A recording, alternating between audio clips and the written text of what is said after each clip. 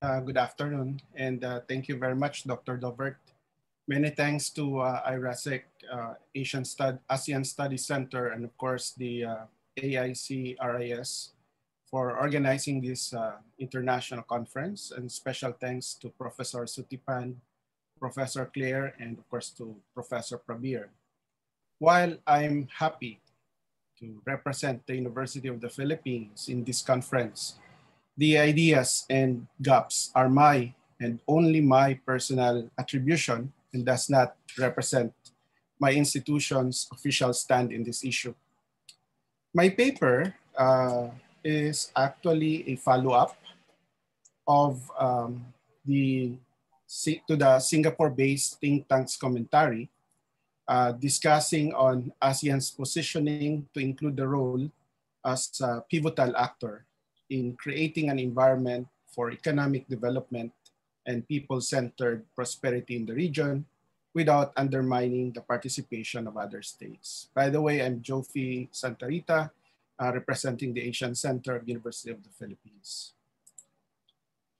The concept of Indo-Pacific is relatively new to the Filipinos, but for those who are familiar, this is their idea after doing a, uh, a quick survey to experts working on international relations.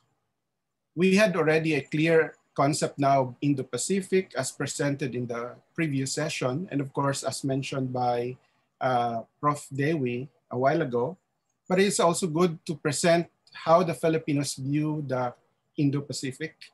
So the concept or term Indo-Pacific as a framework from, uh, from the respondents, uh, some kind uh, solicits a scenario of a new proxy war between China and the US, and that India is seen as a possible proxy between, uh, I mean, to counter China.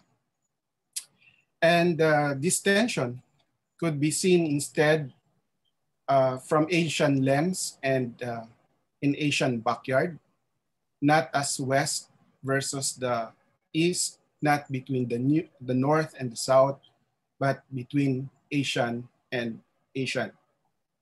In this Asian tension, ASEAN is being wooed by both parties to ally and therefore reminishing the non-aligned days, which members were not aligned with competing parties and instead know how to quote unquote milk the two cows, of which ASEAN could possibly replicate if it knows how to play well its leverage. This kind of view has affected both the individual member state and ASEAN as institution. Such stance or position is also influenced by the domestic affairs of the member state, such as the Philippines. Given such views on Indo-Pacific, the stance of the Philippines in the context of its participation in ASEAN are greatly affected by the domestic concerns, which also mentioned generally by Prof. Dewi. The national election and the change of heart to China and perhaps to the US. The result may change the position in the regional level and to the acceptance of the Indo-Pacific. It's the national election in 2020 next year and is starting now. If it is a Duterte uh, ally, the positioning will be status quo. But if it is the opposition, it is most likely be pro-US. Whatever the result, the foreign policy and its current independent foreign policy, quote unquote, will surely be affected. And this scenario could happen within six long years, coterminous with the next presidency. The second thing is the tension on the South China Sea, which is another issue to watch for by the Philippines and its role in ASEAN's positioning when conflicts rise come 2022 and beyond. In fact, the tension right now could be used as propaganda in the 2022 election and any tension from between the government to government and even non-state actors such as the fisherfolks will have effect to the balancing or maintenance of neutrality for a member state such as the Philippines or of the regional body when all deem it necessary. Another consideration is the suspension and possible abrogation of the visiting forces agreement and withdrawal of the American forces in the Philippines. This will greatly affect the public pulse and may veer towards China or otherwise. The other consideration is the economic recession because of the pandemic and the capital surge and investments.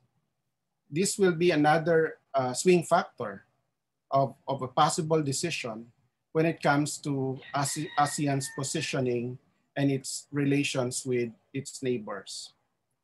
Given these conditions, will the Philippines be faithful to ASEAN centrality in case of conflict between US and China? For years, the Philippines has been consistent in moving along and supporting centrality with little uncomfortable compromise, but not necessarily contradicting towards the solution of the body's decision. And I think it was discussed in the previous um, session. The Philippines' faithfulness to centrality has been tested several times and at least for several decades. Now, how about the Philippines in ASEAN and the latter's pivotal role? The Philippines should maintain its independent foreign policy and must be weighing well its priorities with the US as, as an old ally and with China because of its BRI assistances. Despite the Philippines' issues, it should not choose or force to take side between US and China. A question which was raised earlier by Ambassador Mohan Kumar in the morning opening session. Instead, it should serve as champion in ASEAN to serve as pivot and maintain its relations with India since it has no issues with this country for the last decades. ASEAN should also use this leverage to serve as broker rather than as competitor. It should know how to play its cards well. The Philippines, as member of ASEAN, is the, the, the test case or litmus case.